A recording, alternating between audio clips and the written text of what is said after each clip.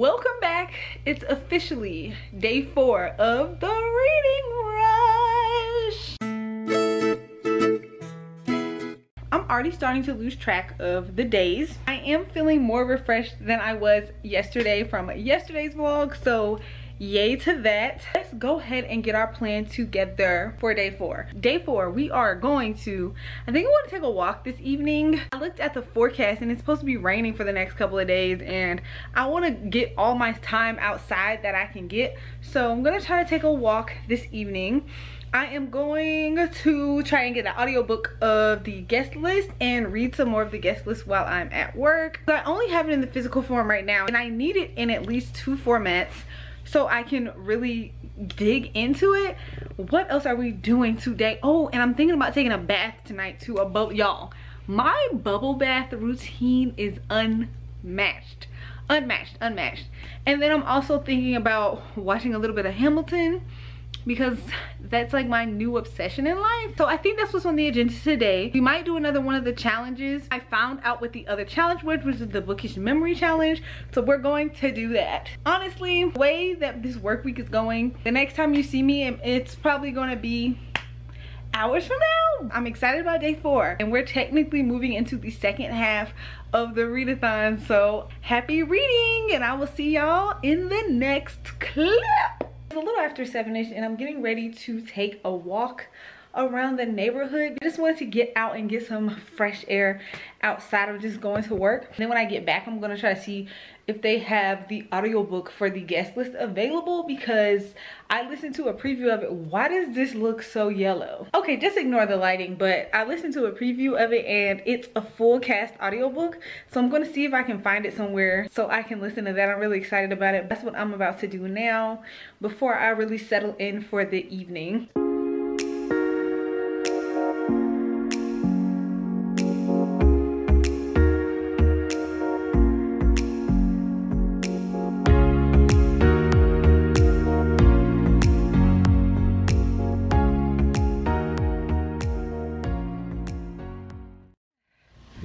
Right taking a little break on the bench. Are you enjoying yourself over there? Yeah. y'all it looked like it can rain any second. Mm. i thought about listening to like my audiobook while i was watching walking but like i'm too paranoid. I need to know exactly what's going on. Mm -hmm. i need to know exactly what's happening so. I always have one in by then oh you have one in? Oh i didn't even think about that. But yes y'all just enjoying a little relaxing break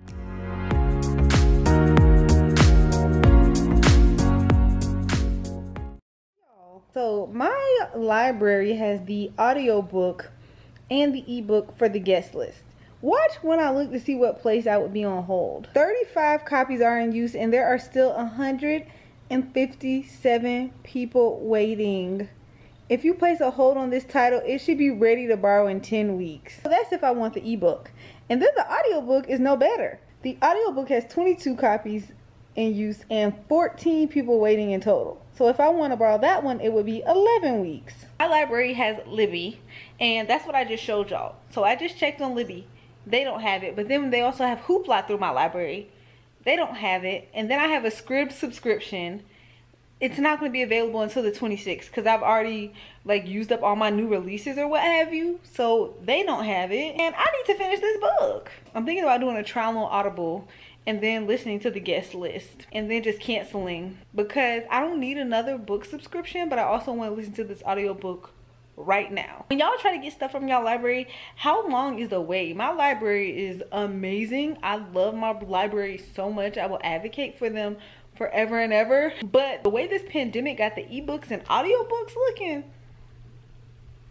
struggle horrendous. So yeah, I gotta figure out what I'm gonna do. So after quick deliberation, I've realized that my only option is to get this book on Audible. So I'm just going to end up doing that. But I know I mentioned that I was going to do another one of the reading challenges, not reading challenges, one of the video challenges today and the other one was to share one of my favorite bookish memories Fun fact, I actually did an entire video on all of my favorite bookish memories a couple years ago on this channel. Of course, the memories have grown since then, but I love that video so much because I have a lot of great, I have a lot of great book related memories. I'm a lifelong reader, so there's a lot I can look back on. I will try to link that video down below. It's one of my older videos, but it just warms my heart every time I watch it. So the memory that I want to talk about today is my top favorite bookish memory and I mentioned it in that video as well and that is the summer reading programs that my dad used to put together when I was younger. When I was growing up, my dad the library always has like their own summer reading programs where you have to read a certain number of books or page count or what have you and then you get like these little prizes. But every single summer my dad would curate his own summer reading program. It used to be so fun. He would curate all of the prizes and everything that we got to go with exactly what we were into. Like me i was always into music. I hated washing the dishes and stuff. So one of my answers might be like to get like a cd or whatever. No dishwashing for a week. Then we'd have like little check-ins. We would play different little games. Like and the thing is he came up with a brand new one every year.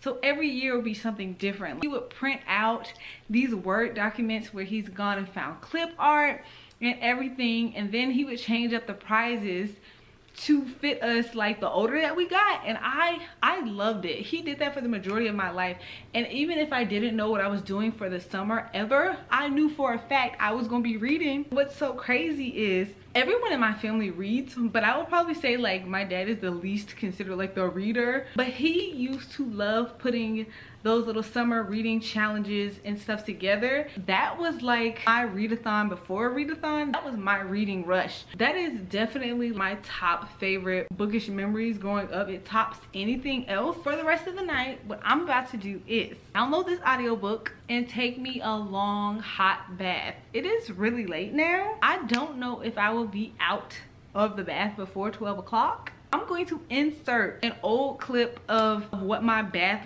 like setup looks like because y'all, I get real serious about my bath time. Oh, I'm telling y'all, but this is basically what I do. So I'm gonna go ahead and insert that. And okay, really quickly before I hop in, and I'm currently wearing a face mask, a bonnet, and a robe. So y'all just not gonna see me in this clip. But this is my favorite time to read I am getting ready to take my bubble bath and I do this once a week. I have my spring and prickling candle burning, some other candles. But yes, y'all, I have my book down here.